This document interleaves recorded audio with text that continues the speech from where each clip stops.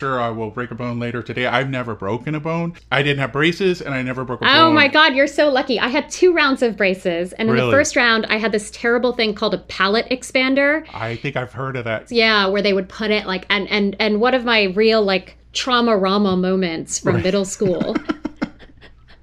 was the fact that the dentist put this palate expander in the night before we were supposed to give speeches oh. for student body president but you know the palate expander gave you this terrible kind of lisp Oh, and so could you sleep that night? Were you mortified? I mean, that sounds traumatic. Let me just add to the trauma rama of all of this, which is that that night my mom was like, "Let's go out for Japanese food or something," and I went out and ordered this tempura, and it got got stuck in that expander and I started choking. And just as I was choking like the three coolest girls from middle school happened to be eating at that restaurant and they came over to say hi and I was like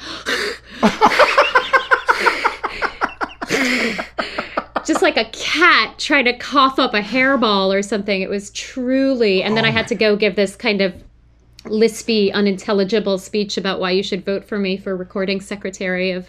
Did you win it? The No, of course, No? are you Okay. insane? Of course I didn't.